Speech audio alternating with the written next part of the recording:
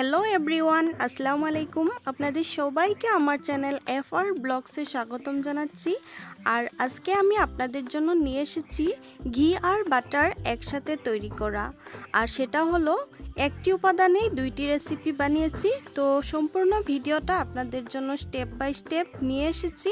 চলুন ভিডিওটা শুরু করি, কীভাবে আমি রেসিপিটা বানিয়েছি। ঘি আর বাটারটা তৈরি করার জন্য এখানে আমি মালাই নিয়ে নিয়েছি। অর্থাৎ দুধের স্বর এখানে প্রায় হাফ কেজি দুধের স্বর হবে।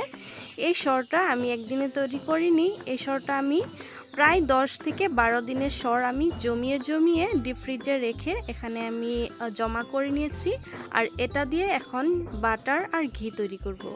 তার জন্য আমি একটা মিক্সি জার নিয়েছি। মিক্সি জারে আমি অর্ধেকটা পরিমাণ দুধের স্বর এখানে দিয়ে দিয়েছি। দিয়ে তারপর এখানে আমি ঠান্ডা পানি দিয়ে দিচ্ছি ঠান্ডা পানিটা দিয়ে এই তো আমি খুব সুন্দর করে ব্লেন্ড করে নিয়েছি, একদম যাতে ঠান্ডা পানি আর দুধের স্বরটা আলাদা হয়ে যায়। এভাবে ব্লেন্ড করে নিলাম।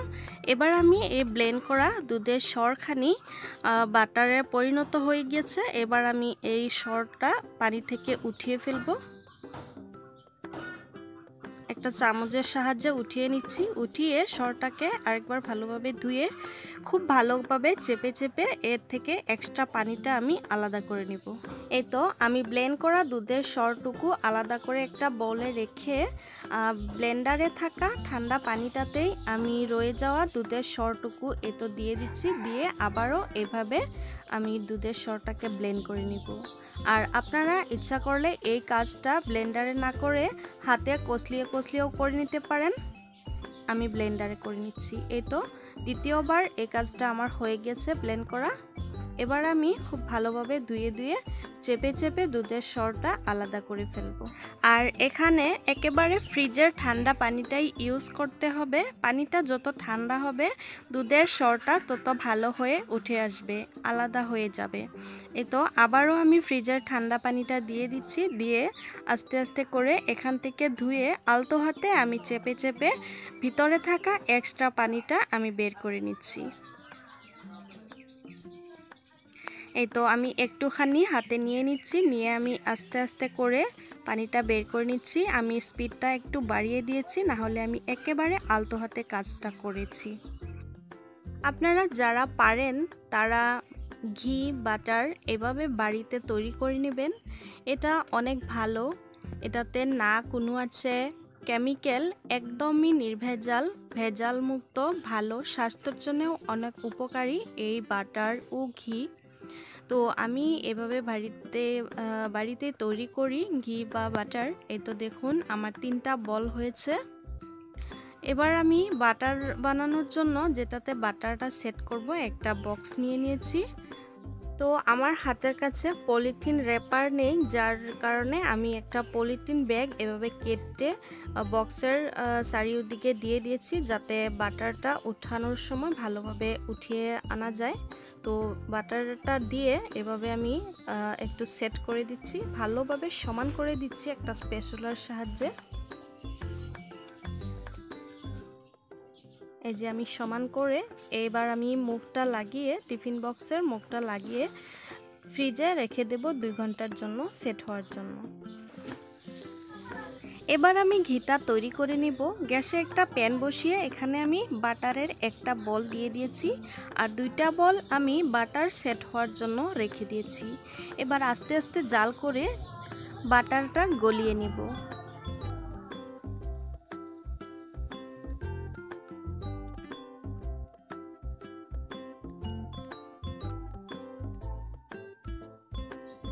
এই তো সম্পূর্ণটা বাটার গলে গিয়েছে আর ঘিটা বেরিয়ে এসেছে। এবার আমি আস্তে আস্তে করে জাল করে ঘির কালারটা একটু চেঞ্জ করে নিব। আর এক্ষেত্রে নাড়াচাড়া করতে হবে, না হলে তলে পুড়ে যেতে পারে। এই তো আমার ঘির কালারটা চেঞ্জ হয়ে গিয়েছে। আর একটু জাল করে আমি গ্যাসটা বন্ধ করে দেব। এবার আমি গ্যাসটা বন্ধ করে দিয়েছি। এবার ঠান্ডা করে তারপরে আপনাদেরকে দেখিয়ে দিচ্ছি। আমার ঘিটা ঠান্ডা হয়ে গিয়েছে, এবার আমি একটা পাত্রে ঢেলে আপনাদেরকে দেখিয়ে দিচ্ছি। একটা বাটির উপরে একটা ছাকনি রেখেছি, তার উপরে একটা সুতির কাপড় বিছিয়ে তার উপরে আমি ঘিটা ডেলে ভালোভাবে ছেঁকে নিচ্ছি। আর দেখুন কতখানি ঘি হয়েছে, আর ঘির কালারটা কত সুন্দর এসেছে, দেখেছেন? আমি সম্পূর্ণটা ঘি কাপড় থেকে চেপে চেপে বের করে নিচ্ছি। তো দেখেন বন্ধুরা, আমার ঘির কালারটা কত সুন্দর এসেছে আর কতখানি ঘি হয়েছে আমার একটা বল থেকে। এভাবে বাড়িতে ঘি বানালে অনেক ভালো হয়। এদিকে দুই ঘণ্টা পর আমার বাটারটা সেট হয়ে গিয়েছে। বাটারটা বের করে এনে আপনাদেরকে একটু কেটে দেখিয়ে দিচ্ছি। এ দেখেন, প্লাস্টিকটাতে আস্তে করে টান দিলেই বাটারটা বেরিয়ে আসতেছে।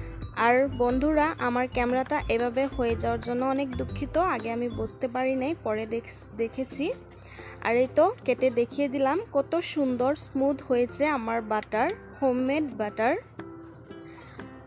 তাহলে বন্ধুরা, আজকের জন্য বিদায় নিচ্ছি। দেখা হবে পরবর্তী নতুন কোনো রেসিপি ভিডিওতে। ভিডিওটা ভালো লাগলে একটা লাইক করে দিবেন। কেমন হয়েছে কমেন্টস করে জানাবেন। আর চ্যানেলটা সাবস্ক্রাইব করে দিবেন।